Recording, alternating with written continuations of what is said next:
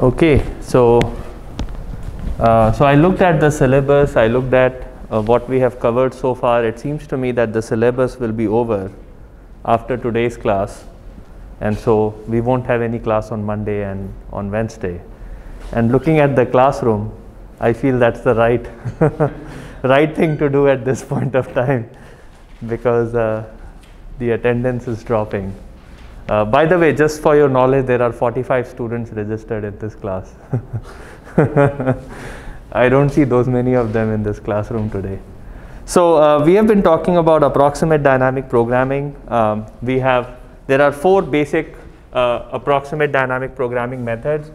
Uh, you can of course mix and match. You can have a lot of different uh, mix and matching phenomena in order to come up with an approximate dynamic programming for the problem that you may be interested in. So the first one is model approximation. And this is the topic for today's discussion. We are going to discuss about model approximation today. The second one was approximation in value function space.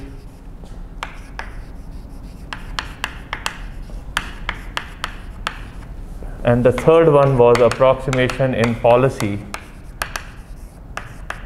function space. And we talked about various types of function approximating classes that you could use either to approximate the value function or the policy function uh, in, in your approximate dynamic programming algorithm. So there's nothing much to discuss in these two situations. Just approximate and you should be fine. And then fourth one was approximation for long horizon. So we talked about essentially three algorithms here. When you have a very long horizon, how do you approximate? So one is if your terminal cost is small in comparison to running cost, you just pick a small uh, uh, capital N small horizon length and you let the terminal cost be zero for that small horizon problem. And that's an approximation for long horizon problem. Now, on the other side, if your terminal cost is very important in comparison to the running cost, then you cannot take the terminal cost to be zero because the solution will be pretty absurd uh, for a small time horizon optimization problem. So what you want to do is you want to come up with a good heuristic which will allow you to compute or at least estimate the terminal cost for the small horizon problem. So that is known as rollout algorithm and we talked about rollout algorithm in the previous class and the third class of algorithms where when you want your state to be small, you want your state to be close to zero. And what you do is instead of thinking about what the terminal cost should be for the small horizon problem, you just put a constraint that you want your terminal state to be zero. Okay, so you add a constraint in your original problem, in your small horizon problem, and that allows you to, that leads to what is known as model predictive control algorithm, and, uh, and that's a valid optimize, approximate dynamic programming method for solving long horizon problems.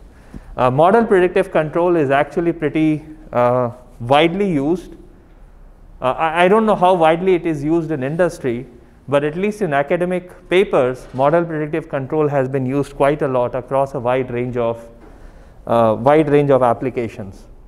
So rollout algorithm not that much, although the whole field of reinforcement learning is based on this idea of rollout algorithm.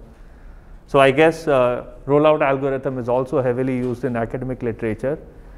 And then the uh, limited look ahead with zero terminal cost. Uh, that's also pretty heavily used in many applications. So, so I guess the, the three algorithms that we studied, you can view them as sort of fundamental ideas for approximate dynamic programming for long horizon problems.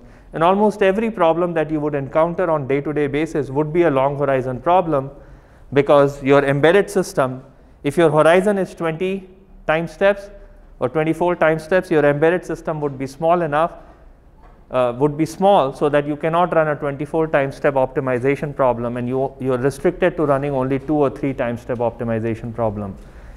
So in those situations, again, you have to resort to one of the three algorithms we discussed in the previous class uh, in order to deal with the long horizon problem. So anyways, we have done this. We have done this uh, uh, uh, in the two classes ago. We have done this in the previous class. And this is the purpose for this class. Model approximation. So let me write down what the optimization problem is. I have xt plus 1 equals to and I want to minimize over gamma t that maps xt to ut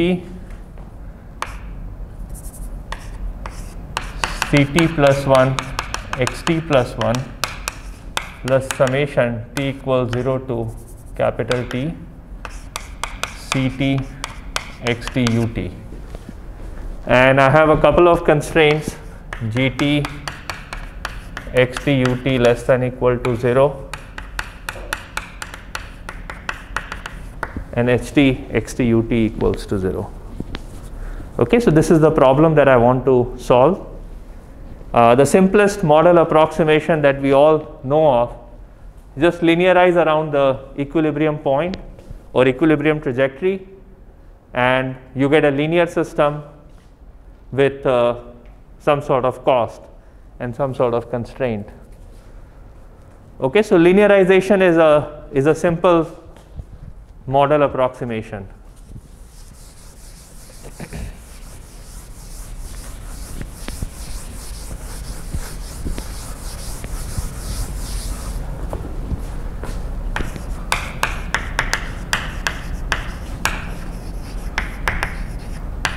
And as you can imagine, you can do linearization of the state transition function, you can do linearization of the constraints, and all of those are valid approximation. And the way you do linearization, you have this f of xt ut. You can apply the same idea to gt and ht and cost functions and all. Uh, so you say gradient of x evaluated at x bar t u bar t times x minus x bar t. So x bar t and u bar t are nominal trajectory plus gradient of u ft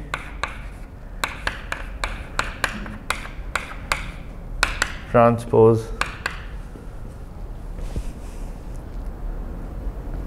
transpose ut minus u bar t plus some small terms. So this is the usual Taylor series approximation for functions of multiple variables.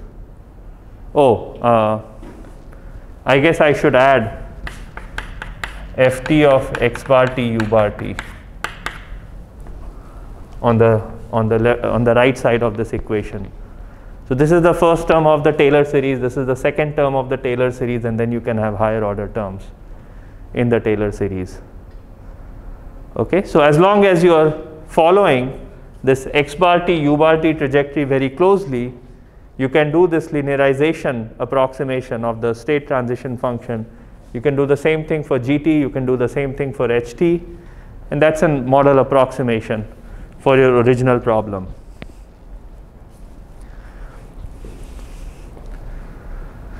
Those of you who may have taken feedback control systems, you may have seen this earlier because in feedback control system, we talk about how do you approximate a nonlinear model with a linear model. So it's very similar to that idea. Okay, so we do linearization using Taylor approximation.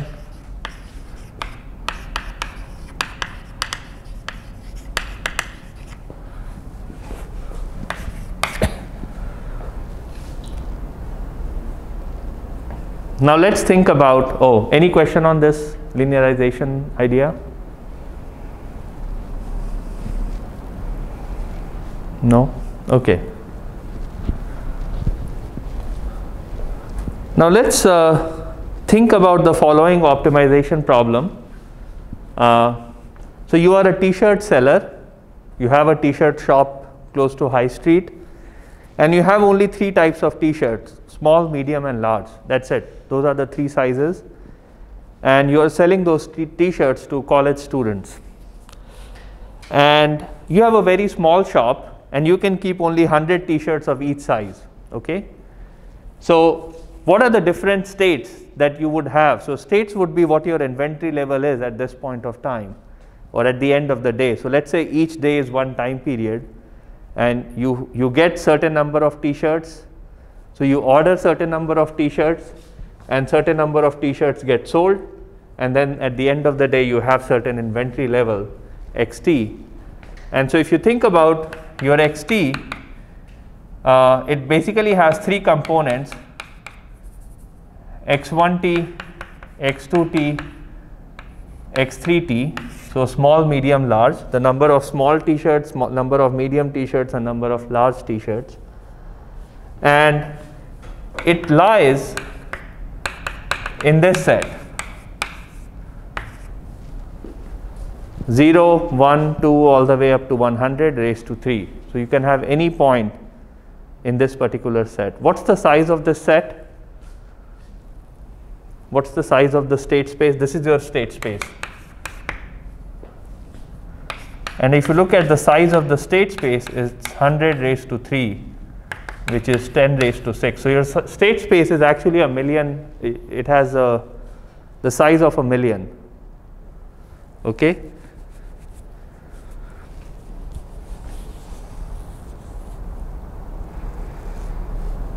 It's a very large state space. And if you have to run dynamic programming, it's going to take a lot of time for you to run the dynamic program over let's say a one month period where capital T is 30 or 31. So over a one month period this dynamic programming equation is going to take a lot of effort because your state space is actually pretty large. Actually your action space is also pretty large. You, you have to figure out how many t-shirts you want to order. Should it be 10, 20, 30, 40 and so on. So your UT is also going to be pretty large. What do you, how, do, how would you reduce the size of the state space? How would you do a, a model approximation in this particular situation? What do you think? So think about it from a t-shirt seller perspective. What would you do to make decisions on a day-to-day -day basis about how many t-shirts you should be ordering for the next day? You can always look at your inventory and your inventory could have anywhere between 0 t-shirts all the way to 100 t-shirts.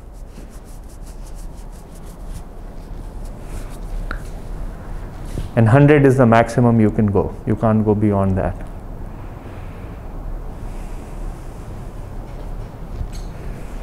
Yes? Uh, maybe you could just focus on the t-shirts that are most in demand or just pretend that you have 300 shirts and the size doesn't matter. okay. So you are going to lump all the sizes into one size. You know, you have t-shirts. So you, you're not going to have three dimensions, you're just going to have one dimension.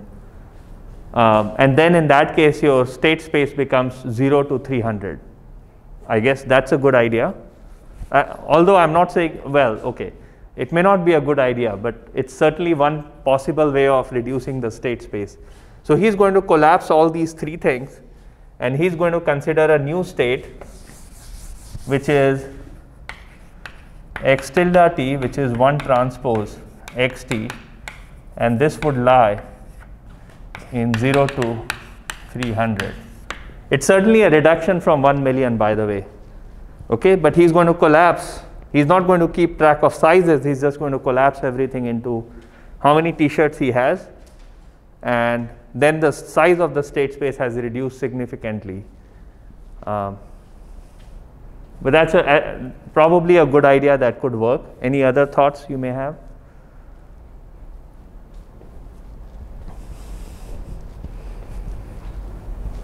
Produce it based on sales every day. So if you are selling less you can't have your state space dependent on the actions at this point of time.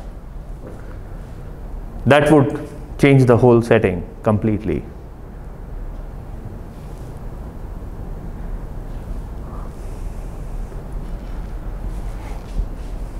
Yeah. Could you break it into three separate problems, each with a 100 dimensional state space? Okay, uh, I like that idea very much. So he's saying, okay, why should I consider one big optimization problem for all three states? Why shouldn't I just solve or come up with three separate optimization problems uh, for small, small, medium, and large uh, uh, t-shirts? So in which case, each state space has only 100 possibilities. And so you are solving three dynamic programs instead of one dynamic program. Again, an excellent idea and an idea that is widely used in, uh, in uh, vehicles because you have too many states. So you just look at one subsystem and optimize that subsystem and you forget about the rest of the subsystems inside the car. So if you're looking at uh, thermal management of the vehicle, you will only optimize thermal management of the vehicle. And then somebody else is looking at the emissions of the vehicle and they will only optimize emissions of the vehicle and so on and so forth. So that's a good idea and certainly something that people do on a day-to-day -day basis by making some assumptions and tuning, uh, tuning the cost functions. Any other thoughts?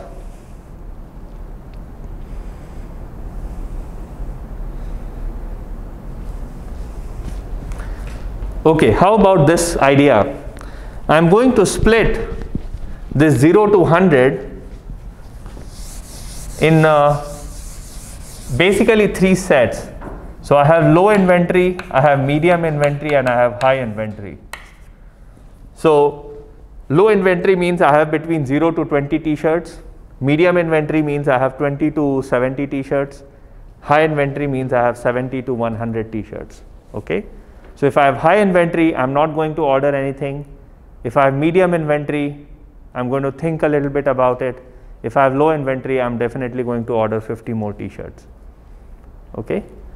So converting your 0 to 100 into low, medium and high by lumping states together, that is known as state aggregation.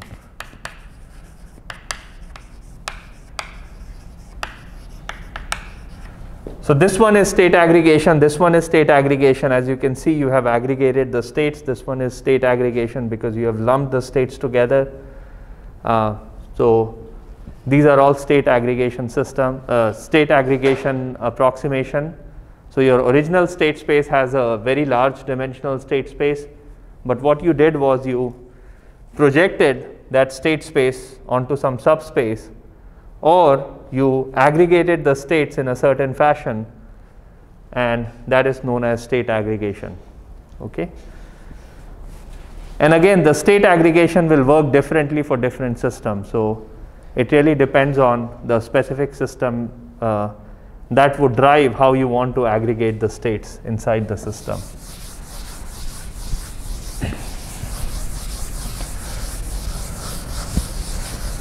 And the third, I mean, the third part was like uh, disaggregating the DP itself.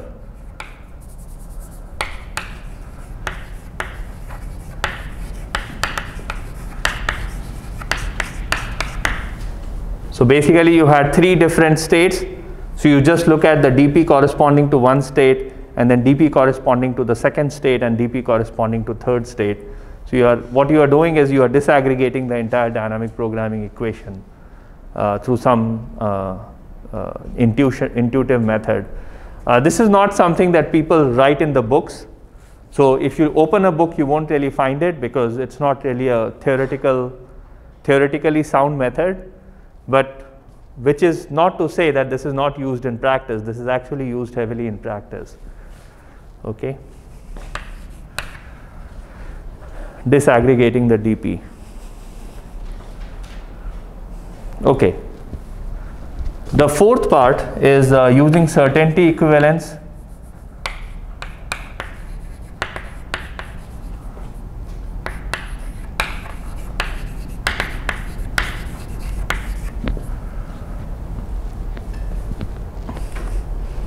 And even though I have not talked about stochastic control problem, uh, but let me give you a little bit of idea because this has come up in our discussions uh, just a few minutes a few minutes back.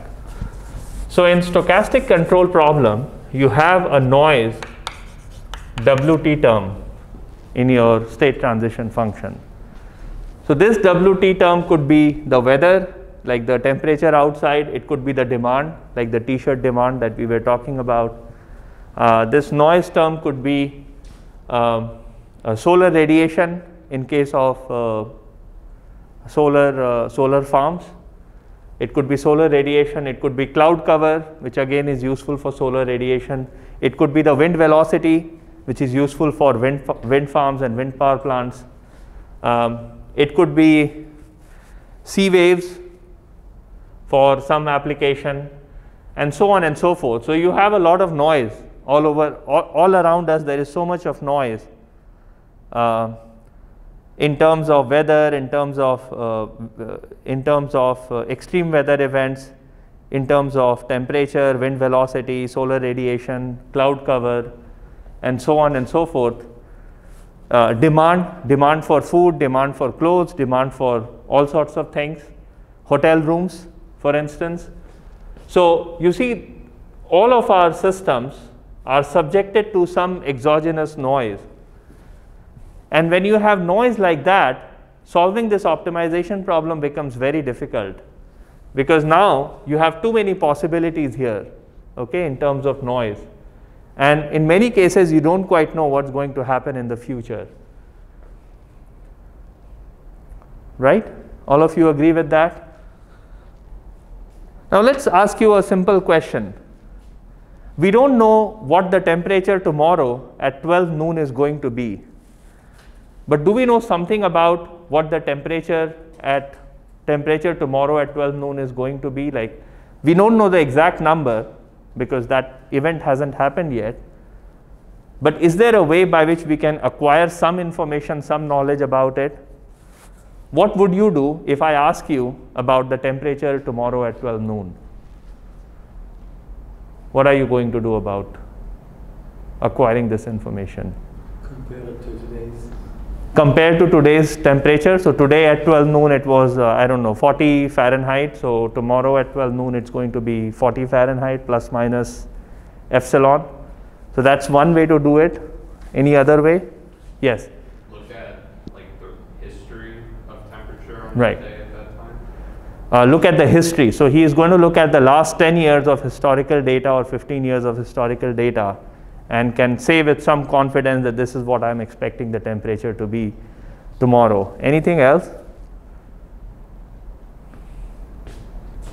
You could just Google it.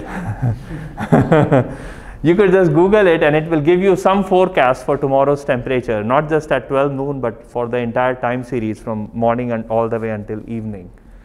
So naturally, you know, if, if it was 1950s, this is what you are going to do. Look at the last 10 years of data, look at what today's weather is and try to extrapolate that information.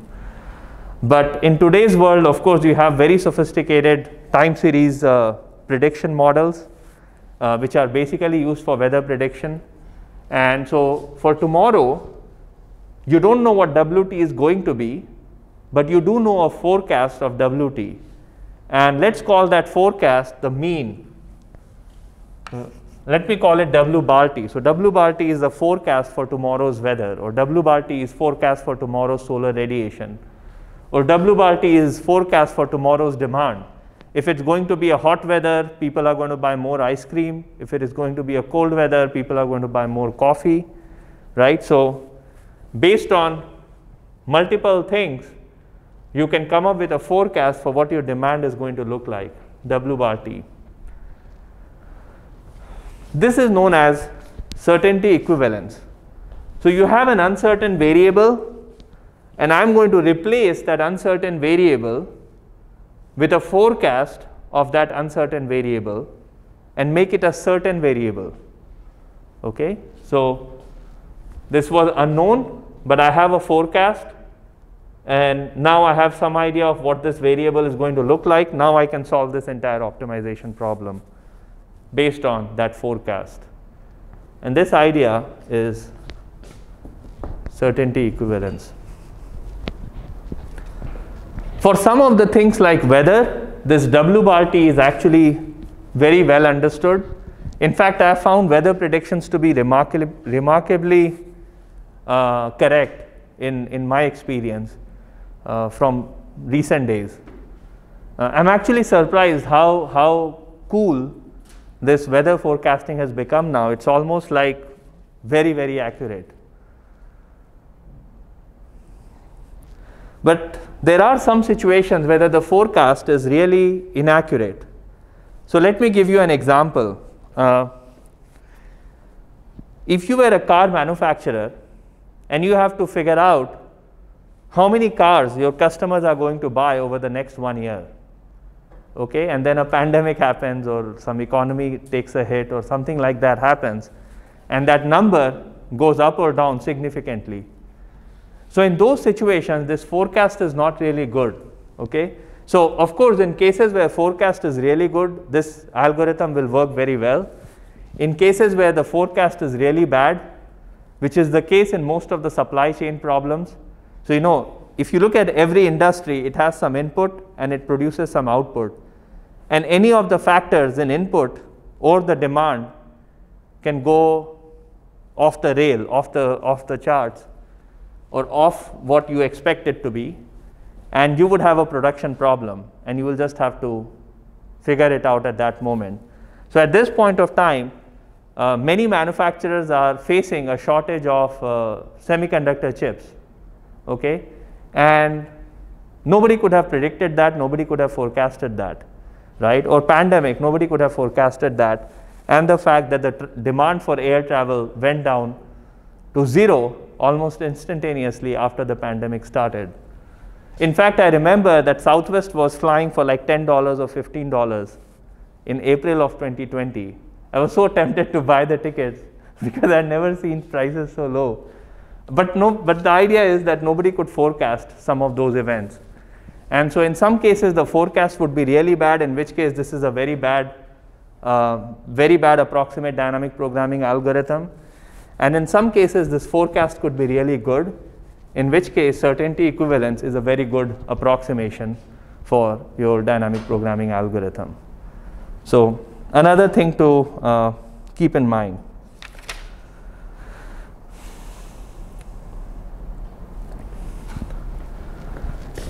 And the final thing that I want to talk about is uh, singular perturbation.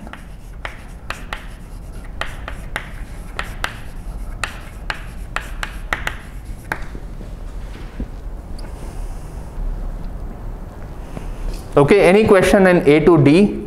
Because I'm going to erase both sides of the board to talk about singular perturbation. Okay, no questions?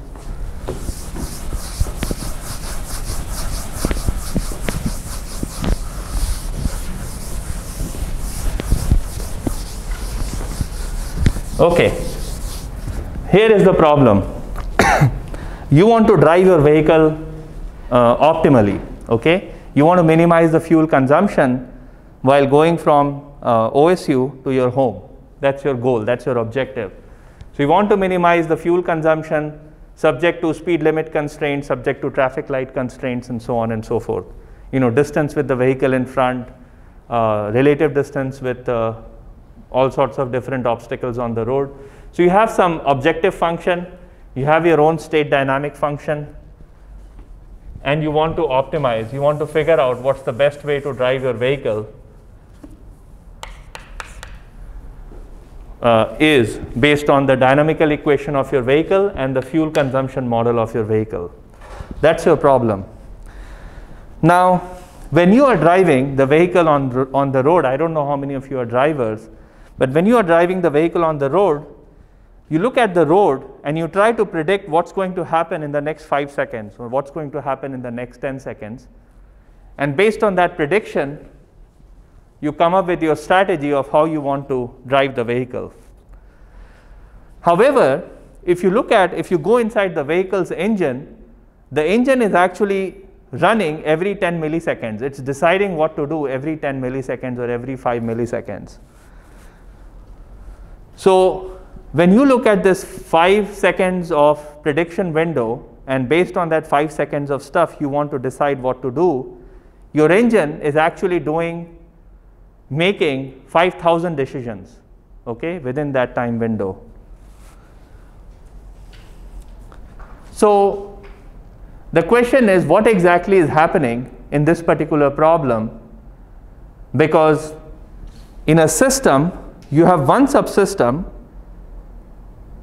which has 5000 time steps but you have another subsystem which has only 5 time steps which is you as a subsystem you as a you as a controller you have uh, only 5 time steps. But if you look at the engine it's actually running 5000 time steps. So the question is how do you model this system and how do you come up with an approximate dynamic programming method for that problem. So here is the idea of singular perturbation.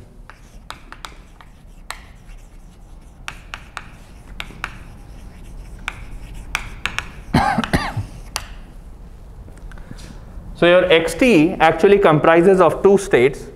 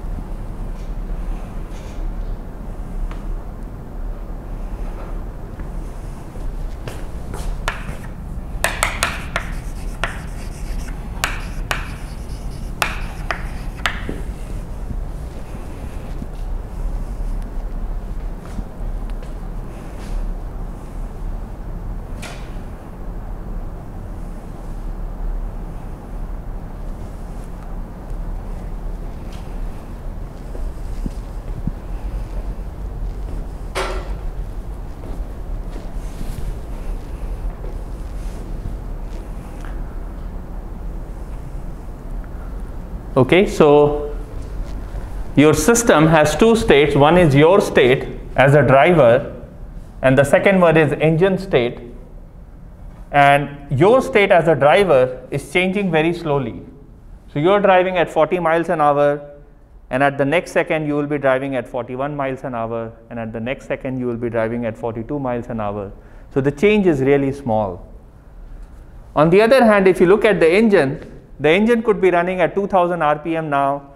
It could suddenly jump to 3000 RPM at the next second, and it could go down to 2000 RPM again, and then it could go up to 2500 RPM at the next second. So this particular state is actually getting updated at a much faster time scale. So this is known as slow dynamics because yt plus 1 is almost equal to yt with some small term getting added and this is a fast dynamics.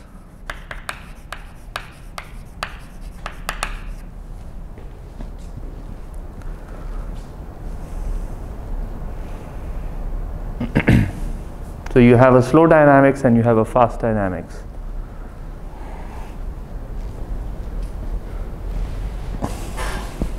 And we have this optimization problem to be solved. So I'm going to write this, I'm going to ignore this uh, particular equality constraint.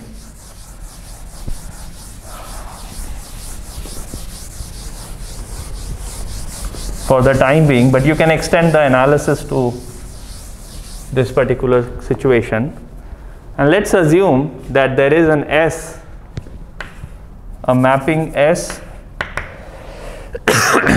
from from x cross u to y no uh, from y cross u to z such that f2 of y s y u u equals to s y u. This is my assumption.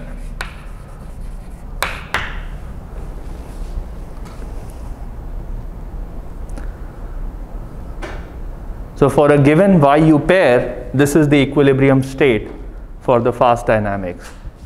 So if I'm pressing the accelerator at a specific angle, and if my velocity is 40 miles an hour, there is an equilibrium engine speed at which the engine speed is not going to change over time. Okay? So if I keep my if my, if my velocity is 40 miles an hour and my accelerator is at a steady angle, then there is an engine RPM which is not going to change over time. Okay, that's this assumption.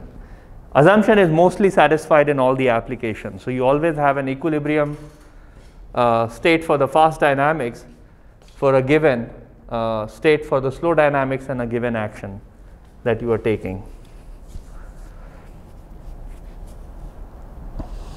Okay, and we also expect gt of y, syu and u to be less than equal to 0. So whatever that equilibrium state is for the fast dynamics, the constraints are met for that particular equilibrium state. So this has to be satisfied and this has to be satisfied.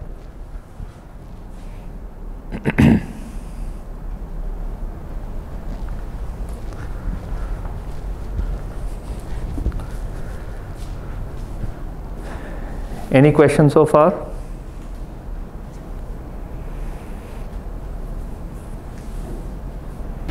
Okay.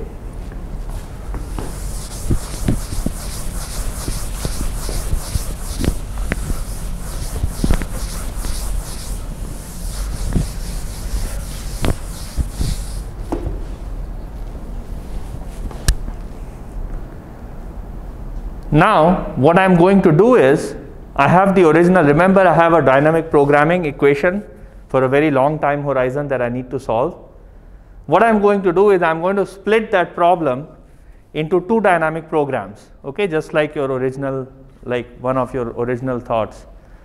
So I'm going to split this optimization problem, this, this dynamic program into two separate dynamic program. One dynamic program which I'm going to call fast dynamics optimization sorry, uh, one is slow dynamics optimization.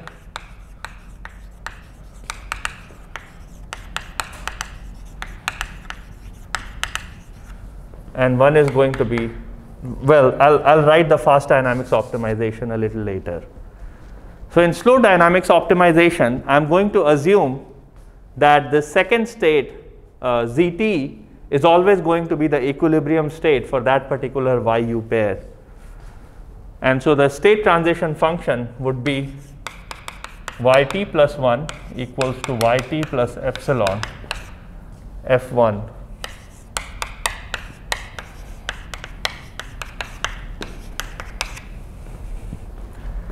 and I want to minimize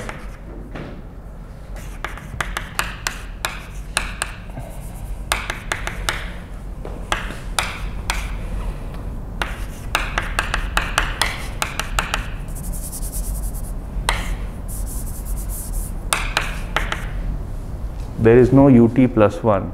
So,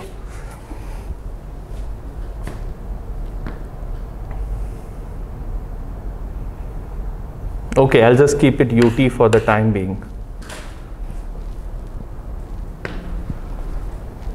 But I need to replace it with whatever the equilibrium state is going to be at that particular time. And then plus summation Ct of yt s yt ut ut t goes from 0 to capital T and the constraint is g t of y t s y t u t u t less than equal to 0.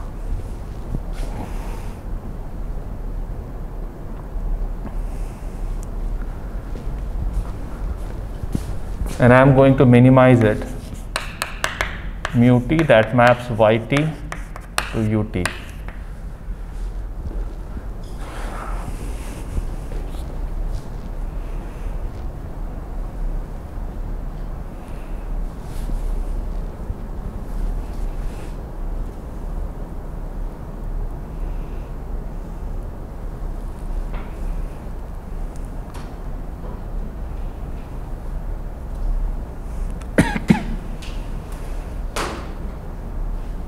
What do you notice here in this optimization problem?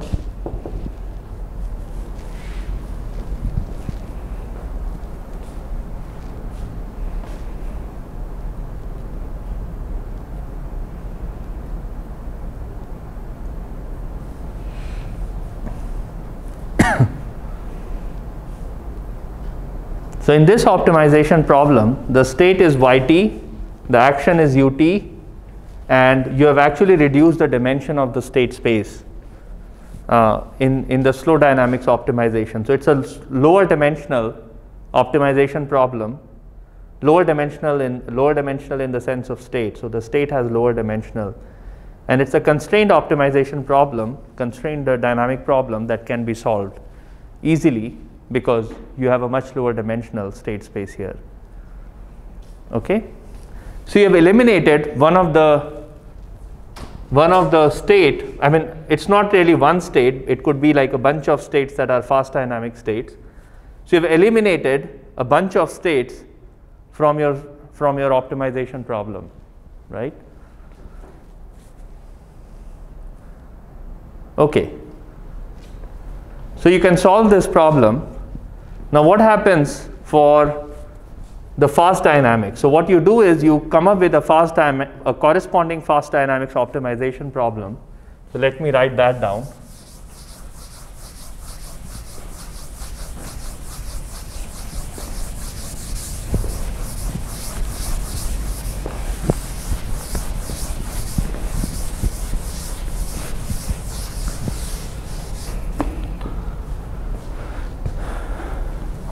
So you come up with a fast dynamics.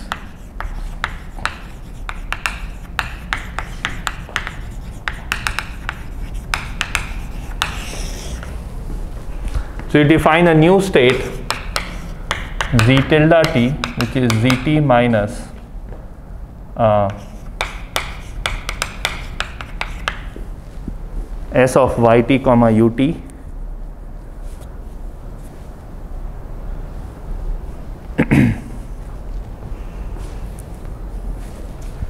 and then you minimize. Uh, wait. So you have your f2 of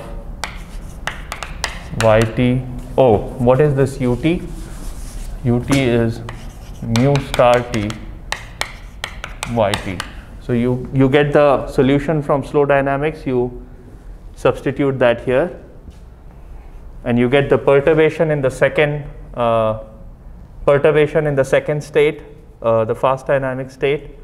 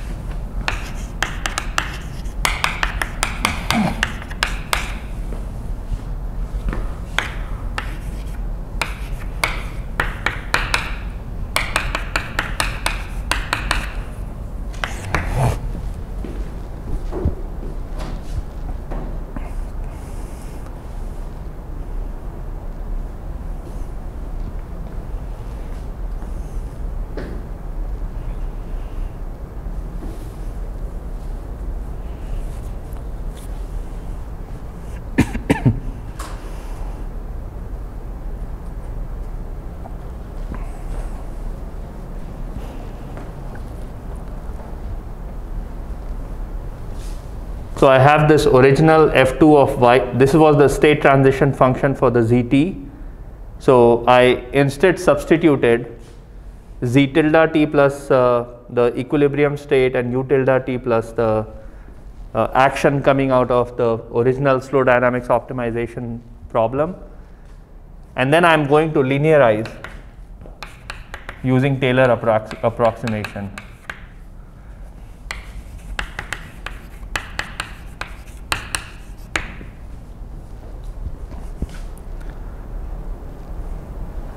So I'm going to do the Taylor approximation with respect to this z tilde t and with respect to u tilde t and I'm going to get a linear system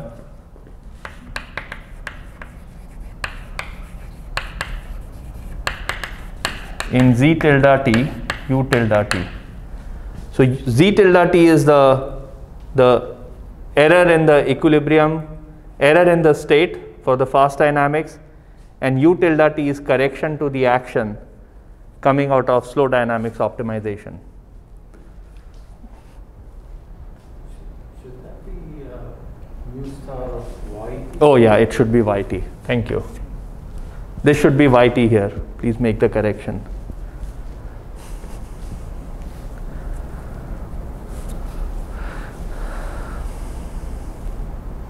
Okay.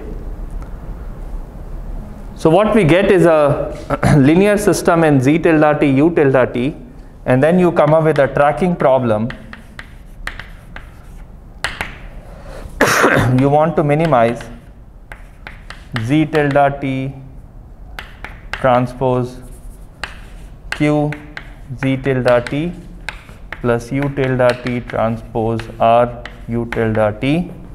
I am going to add t equals 0 to capital T and that's it. Um, with maybe some, some constraints. You may want to add some constraints here so that this constraint will be met. So let me just write it as gt of yt st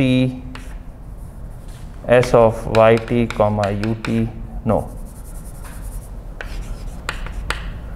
mu star t yt plus u tilde t no plus z tilde t and ut u tilde t plus mu star yt less than equal to 0. So you can you can add this term or you can just uh, ignore this term depending on whether the constraint is important or not. So if you ignore this term, if you ignore this constraint, it's a usual LQG problem and you have already solved LQG problem, uh, sorry, LQR problem, you, you, you have solved LQR problem by hand and solving this particular problem is actually fairly straightforward. Okay. So solving this is fairly straightforward, but if you add a constraint, then it becomes a more complicated affair.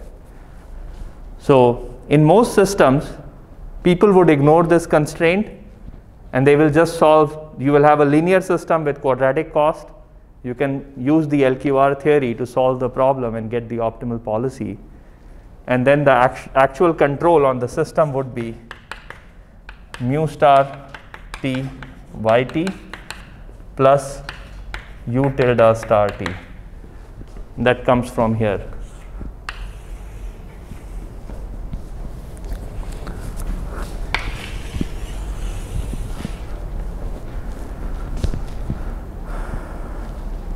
This is your, well, I should actually write gamma star t of xt. So the optimal, well, actually it should be approximately optimal policy. So this is an approximately optimal policy for your original problem.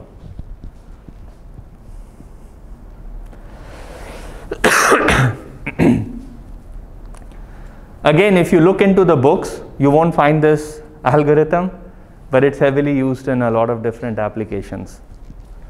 So there are, of course, books written on singular perturbation theory, but those are all in continuous time. So what I have done here the, on the blackboard is converted the continuous time theory into a discrete time uh, formulation. Um, so this is uh, what is known as singular perturbation theory. And this kind of uh, approximate dynamic programming technique is very useful in hierarchical systems. So what do I mean by hierarchical system? So you have a top system, which is a slow dynamic system where the state changes every few seconds. And then you have a fast dynamic system where the state changes every few milliseconds. And then you may have like further hierarchical uh, subsystems where the time scale would be much, much faster, like in microseconds or nanoseconds. So, so those are known as a singularly perturbed system, and this is the way to do the optimization for those systems. So if you think about it, a good example for this particular system is, uh, for instance, you have a solar panel and you have a battery and you have an inverter in between. And if you think about it, the inverter battery system has to make decisions every microseconds. Okay, so their decisions are like if, if there is a cloud cover, if there is if there is solar panel and there is a cloud passing over the solar panel, the solar panel will see a decrease in production almost within microseconds.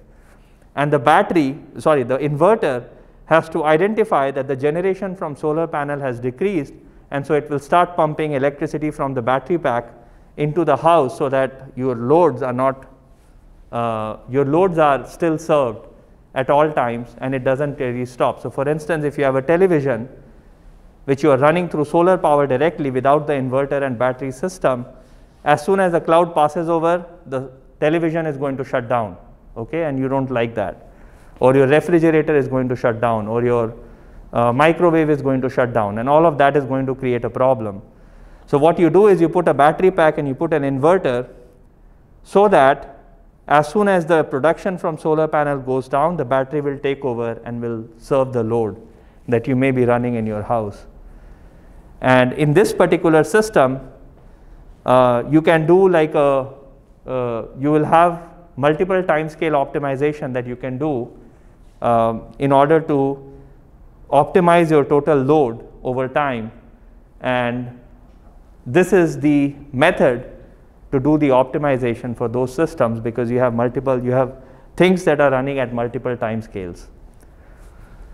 So this is another form of model approximation because now you have the original system with a very high dimensional state space and you disintegrated it into a smaller dimension optimization problem and another smaller dimension LQR problem. And LQR problems are very easy to solve. So this, you don't even feel it that you're solving this problem. You only have to worry about this particular problem so that's all I have for the, uh, for the model approximation. Uh, we have studied all different techniques in approximate dynamic program. Now you can do a lot of mix and match. So you can do any number of combinatorial mix and match and you can come up with a new algorithm of your own for whatever application you are interested in. Um, and uh, that's it. The, the entire syllabus for the course is over. So we will not have class on Monday and Wednesday. Thank you for attending this class and uh, please uh, uh, please fill up your SEIS form. I think the currently only 4% or 5% of the class has filled up their SEIs. So please do go back and fill your SEIs for this class as well as for the ECE 5555 class. And uh, and uh, thank you all for attending. It was a pleasure teaching you all, and uh, I hope you guys will use some of the stuff we discussed in your career ahead and make a lot of money. And pass on some of the money to me. thank you, guys.